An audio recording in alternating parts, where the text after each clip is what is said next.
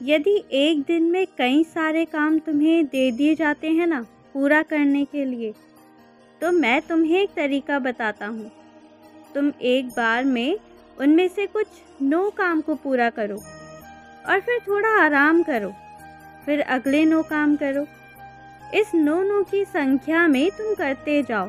तुम्हें पता भी नहीं चलेगा कितने आराम से कई चीज़ों को तो पूरा कर लोगे।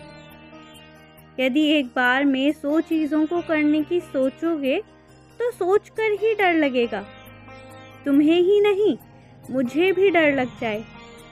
ये वास्तविक है, इसलिए उसे हिस्सों में बांट दो। नो नो के हिस्सों में कृपा अधिक होगी। ये बस एक तरीका बता रहा हूँ।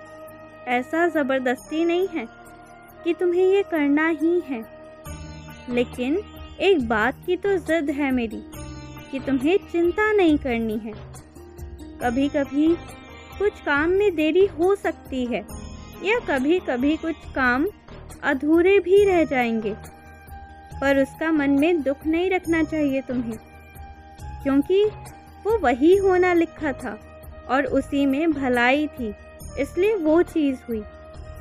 और जो जाना चाहता है ना, उन्हें रोको मत, जाने दो। जो जो करना चाह रहा है उसे रोको मत, उसे करने दो। लेकिन तुम साथ हमेशा सच्चाई का देना, जो सही होगा उसी के पक्ष में खड़े रहना।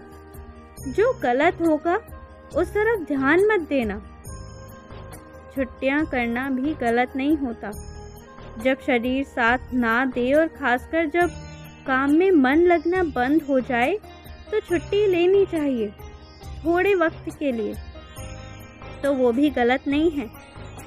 अक्सर इंसान काम करते करते ये भूल जाता है कि वो ये सब क्यों कर रहा है।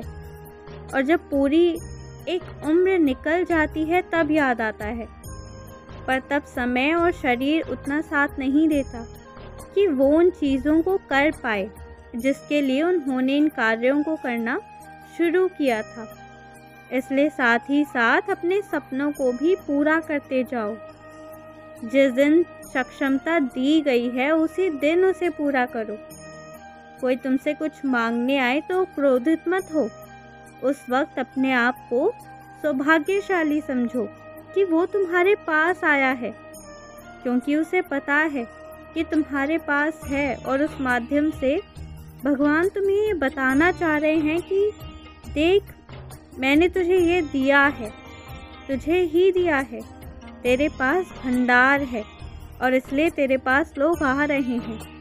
देना ना देना, आगे तुम्हारी मर्ज़ी और जैसी परिस्थिति। लेकिन इस बात का एहसास करो और शुक्रगुजार रहो, जो मिला है उसके लिए। नफ़रत किसी से मत करो। और मुझे पता है कि कुछ लोगों ने अब तुमसे नफ़रत करना शुरू कर दिया है। और अब तुम्हें पता चल रहा है। उनके क्यों के कारण के पीछे मत जाओ, क्योंकि उस नफ़रत के पीछे का जो कारण है ना, वो सुनोगे तो तुम्हें हँसी ही आएगी। क्योंकि कुछ लोग तो बस यही देखना चाहते हैं ना, कि कब कोई दूसरा असफल हो, तब तो उसके निकटतम जाना चाहते हैं। तो ऐसे लोगों के प्रति भी मन में बुरे भाव मत रखो। उन्हें गलत समझाया गया है, गलत पढ़ाया गया है, गलत सिखाया गया है, इसलिए उनके मन में गलत भाव हैं। तुम्हें उनसे क्या लेना देना? उनके गलत, बुरा चाहने से तुम्हारा कौन सा काम रुक गया? कुछ भी तो नहीं रुका।